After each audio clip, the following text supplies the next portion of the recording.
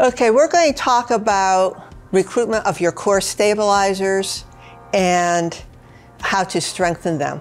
And these muscles give you the best back brace you can give yourself. So the more these are recruited when you do activities which are challenging for your back, the more your back is protected and the less pain you have.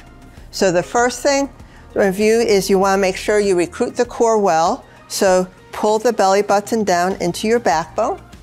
And to pull in, it's not a tightening that sticks the ribs out, it's just a pull in.